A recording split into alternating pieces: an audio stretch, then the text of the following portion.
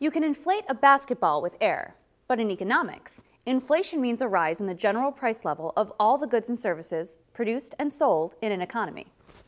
One of the causes of inflation can be too much spending chasing too few goods.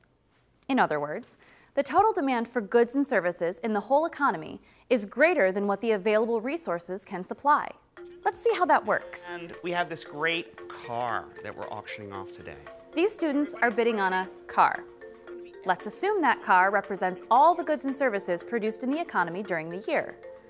The bidders have different amounts to spend, up to a maximum of $10,000. So let's start out with a first bid of $1,000. Right there, I got 1,000. How about 3,000? 3,000. How about 5,000? 5,000. 7,000? 7,000. 8,000 right here, 8,000. 8,500. 8,500, right? 8,500 with this guy going once, going twice. Aha! This lucky bidder gets the car for $8,500. But what happens when the money supply is increased and the same people bid on a second car the next year? Same model, but the maximum any bidder has now is $25,000. You guys have the dough, you know, you got it going on. Who give me 5,000? 5,000? When the maximum possible bid is raised to $25,000, the car goes for 21,000. $21,000.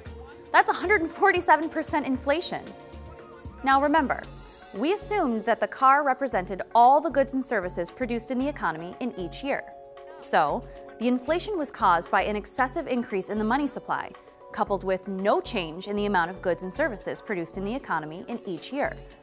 Another cause of inflation is called an inflation shock. In 1973, an oil embargo caused a dramatic rise in oil prices. Because so much of the economy depends on products made from oil, the result was higher inflation throughout the economy. There are several things that can lead to inflation in the short run, but long-run, sustained inflation is caused by excessive growth in the money supply.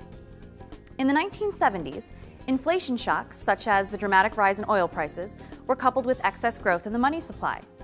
Together, the inflation shocks and the overly accommodative monetary policy fueled inflation throughout the decade.